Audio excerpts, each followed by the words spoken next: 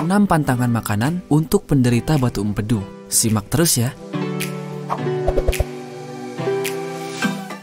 Sebelum lanjut, jangan lupa klik tombol subscribe dan ikon loncengnya ya, agar kamu selalu update video terbaru dari Ragam Herbal.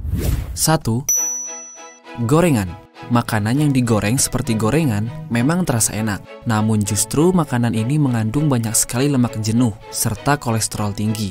Lemak dan kolesterol ini dapat memperburuk rasa sakit akibat batu empedu.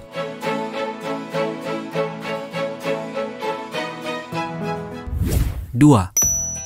Telur. Telur mengandung banyak sekali kolesterol, sehingga penderita batu empedu dianjurkan untuk menghindari atau mengurangi konsumsi telur. Kolesterol tinggi pada telur kemungkinan besar dapat memicu alergi makanan, sekaligus memperparah kondisi kantung empedu. Mengonsumsi telur dapat menyebabkan serangan kantong empedu dalam presentasi tinggi, khususnya pada orang yang punya alergi.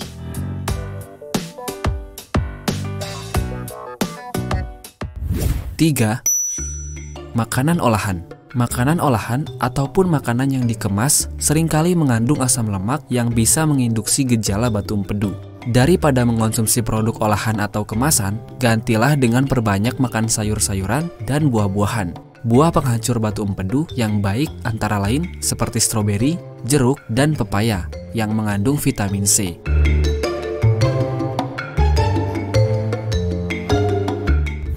4 Daging berlemak Daging yang mengandung lemak tinggi bisa membuat iritasi pada batu empedu, sehingga memperparah keluhan.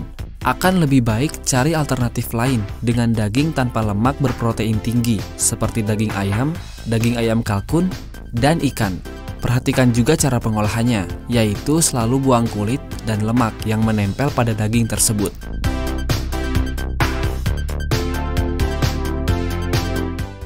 5. Makanan dari bahan halus.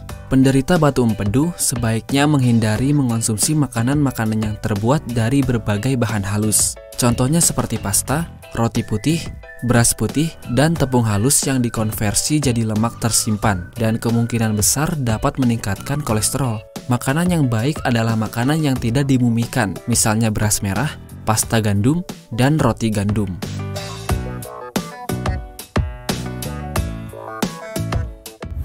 6. Susu berlemak tinggi Produk susu berlemak tinggi serta olahannya seperti es krim, keju, dan yogurt adalah makanan-makanan yang sebaiknya dihindari penderita batu empedu karena bisa memicu komplikasi pada kantung empedu. Selain menjalankan pantangan tadi, kamu juga bisa menggunakan obat herbal penghancur batu empedu, yaitu KNC Jelly Gamat. Beliau adalah salah satu penderita batu empedu yang alhamdulillah sembuh setelah mengonsumsi obat herbal ini. Saya punya keluhan batu empedu. Yang pertama diperiksa dokter, uh, ukurannya 1,4 cm.